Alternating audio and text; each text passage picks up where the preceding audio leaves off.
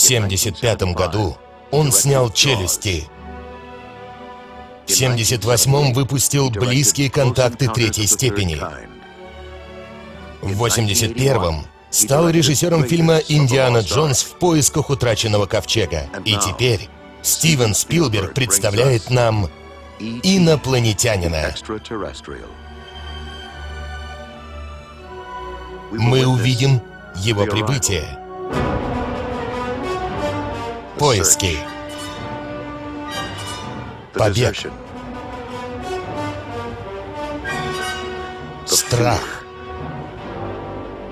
Открытие. Дружбу.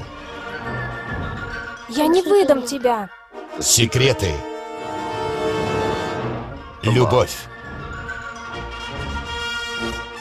Предупреждение. Сигнал. Загадки.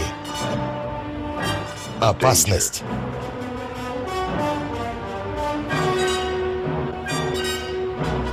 Вторжение.